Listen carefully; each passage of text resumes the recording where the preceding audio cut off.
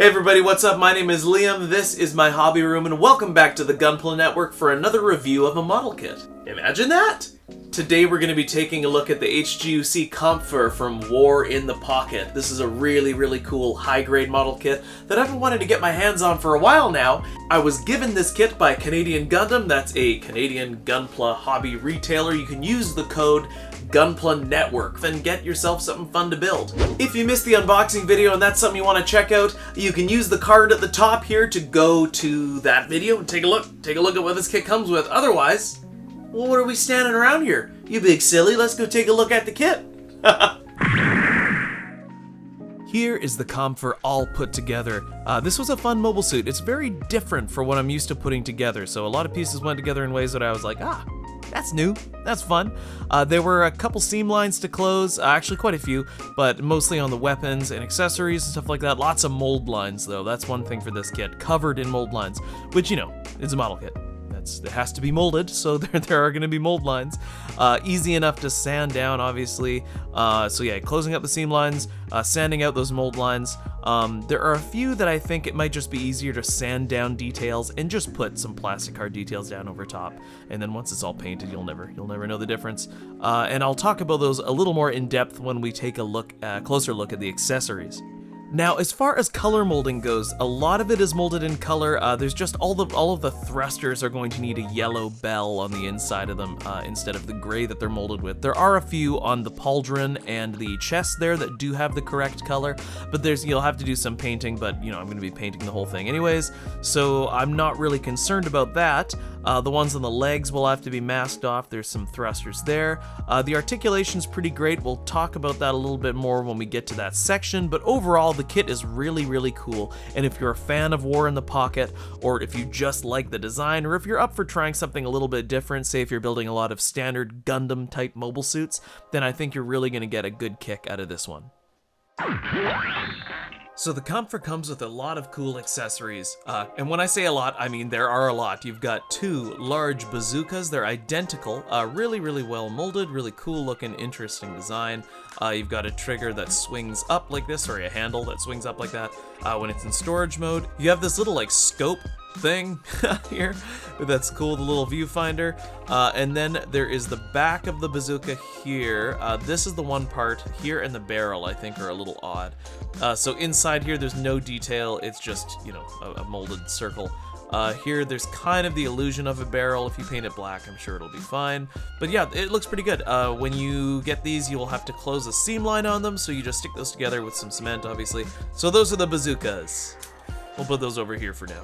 Next up, you have the Kampfer's twin shotguns. Uh, these things are pretty cool. There is no articulation on them, even though they, it kind of does look like they have like a moving, uh, whatever you call the pump action part of a pump action shotgun.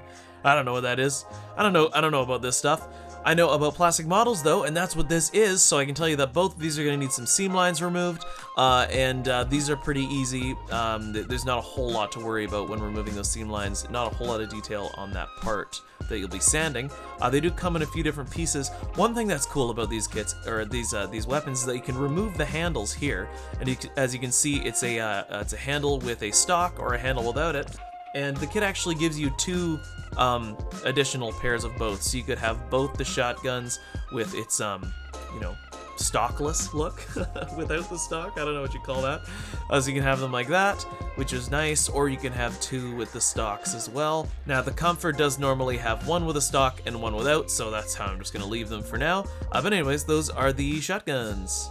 You also get two Sturmfaust grenades, and if you're familiar with the uh, with the lore, all these are fired from the hip, and uh, there's a little trigger thing here. Uh, they have a little peg and a mounting bracket that you can put them on, and those just clip into the side of the leg, uh, like so. There's a little hole here, and you just plug that right in. And then you can position it however you like. Another interesting piece of equipment is the Chain Mine Whip. Chain Mine, I think it's called. and it comes with this, uh, so each of these little mines on here are two pieces snapped together, and then there is a little handle here, and this handle has a peg, and that peg connects only into the right fist. Uh, the left fist does not have a little connector, and then the end one comes with this little uh, anchor point here. There's an included wire that connects all of these mines, and then just inserts into this handle here, and uh, I feel felt like it was a little too long, uh, so I just cut off a little bit there. I don't remember what it said in the instructions. I wasn't really looking, to be honest. So, anyways, this is a really cool accessory. Um, it is a little bit difficult to get it to pose well, but I haven't had any problems with its weight and the kit holding it up. So it can do pretty much everything you needed to do with this mine if you wanted to recreate any scenes from the from the OVA series. You also get two beam sabers here. They're just the regular sized old style ones, uh, and then you get a very interesting looking beam saber hilt with this kind of like a, a slanted pommel, which I really like. I think it's cool. Uh, you cannot store these hilts anywhere on the kit, and that actually brings me to an interesting point. Uh, you can store pretty much everything except for these. Uh, so just these guys you can store on the kit, and then uh, you know the other the other shotgun you can have in the hand or something. But uh, these two weapons, there's really nowhere to put them. So and then you got a bunch of hands. Isn't that nice? It's nice when they give you lots of extra hands. I like that. So you get a splayed hand for the left hand side. Ooh, look at that, very dramatic looking. Looks good. Uh, you have two generic holding hands. Um, I say generic, but it's not entirely generic. These are for the beam sabers and uh, and slash or. This right one can be used for the chain mine, but the left one cannot hold it very well. So just keep that in mind. And then you have two trigger fingers. Not often you get one for both hands, which is great, but that's because you can dual wield shotguns on this kit. That's kind of fun. You can whip out a shotty like John Gotti. It's a pretty dated reference, but uh, yeah, I'm just gonna move. Keep rolling, keep on moving, okay? All right. So before we continue to articulation, I just want to point out some of the areas that are going to need some painting if you're just going for color accuracy.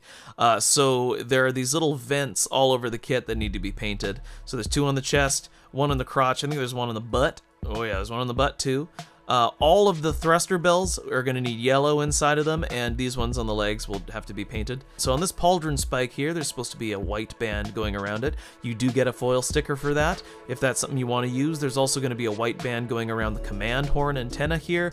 Uh, you get a sticker for that again. If you want to use it, go for it. Uh, and then the mono eye is a sticker, and I'm not a huge fan of those, so what I'm probably going to do is um, saw out this piece and put a little ball joint in, a ball joint with like a little peg on it, and just um, attach a to the end of that peg so it can kind of look around like it's supposed to. And the vents here in the helmet are also going to need some paint, I think gray and yellow or something like that, but just a little bit, just to give it a little bit of color. Just a little bit of color. Hey? Yeah, alright. The bazookas are going to need some paint on these uh, viewfinder scopes here, so both sides of those will need a bit of paint. Uh, and also these little holes in the back of the backpack, I just think it would look better if you just drilled them out so as far as seam lines go in the kit, wow, there's a lot of them, and uh, there's a lot of mold lines that needed to be sanded out as well to give it kind of that, uh, you know, professional look. So what I wanted to do is just quickly go over some of those seam lines. Uh, you sandwich these on here, you're gonna need to fill that seam line in. Uh, underneath there, the thigh pieces do have a molded line detail in there, so you don't really have to worry about that. That's kind of nice. Uh, let's see, what else is there? Oh, yeah. Uh, there is a seam going down the back of the legs here, uh, but it's molded detail all the way up until the bottom. So the bottom part is the part you'll have to use some cement and clean that up with because uh, it just looks a little unsightly. These Sturmfaust grenades, it just goes down the top. The seam line's right on the very top there. Very easy to close, not, not difficult at all. There's a really deep mold line going down the backs of these uh, arm guards here, so I sanded that out. There's a seam line going down the middle of both pauldrons, which is less than ideal because there's so many different vertices and details that you have to sand around to kind of make those work. So I had to do, um, I didn't have to do very much reshaping. As you can see, there's no polyester or epoxy putty on here, just the regular lacquer-based putty. Uh, you'll also be closing seam lines on the shoulder, the horn can be sharpened a little bit more, which I've done. Uh, there's mold lines on these um, these pipes here, and they're they're really glaring. So uh, I just took some sandpaper to those, as well as these areas here. You want to be careful you don't actually accidentally sand off that detail. And there is a seam line going all the way around uh, both shotguns. Uh, on the stock, there is a pretty big mold line that's going to be sanded. That's going to need some sanding. Uh, other than that, though, these are really, really simple. And now it's time to go over articulation.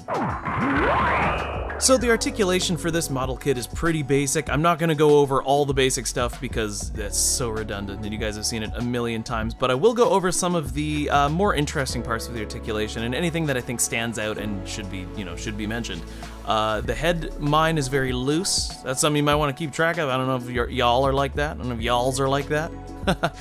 I don't know why I said that. Uh, so, but it's very articulated, moves all the way around there. The arms do have a pretty good range of motion. Uh, they go forward and backwards pretty well, and they can spin all the way around here.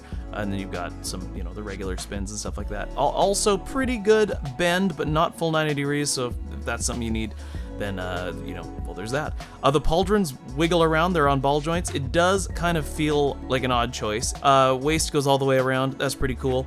Uh, don't need to really uh, harp on that too much. The legs, mine are quite stiff, which is nice, I guess. Uh, they go backwards all the way, forwards all the way. There's lots of bends, but but, but, but, uh, it doesn't bend very far, and you'll notice that the thruster runs into the leg, so that's the only bend you're gonna get. The ankle uh, bends back and forth and has some wiggle room, and then there's no bend in the feet. But that's essentially the whole model kit. There's really not that much to it, um, but what it does very well is stand there, and look awesome. So I really, really do like this kit and I cannot wait to paint it and put all the decals on there, take a look at it, and I'll be doing that on my channel, Liam's Hobby Room. So you can check that out if you want to see me paint this kit from start to finish and talk about the modeling process and tips and tricks and all that fun stuff. Thanks so, so much for watching, everybody. Thank you for clicking on my video. Once again, my name is Liam from Liam's Hobby Room. If you want to check out some start-to-finish builds of model kits, uh, some custom projects, also learn some tips and tricks about model making, and have a little laugh along the way, head on over to Liam's Hobby Room, which is my channel, and I'll see you there. Make sure to subscribe to the Gunpla Network for lots of awesome Gunpla content, and I will see you guys next time on Liam's Hobby Room.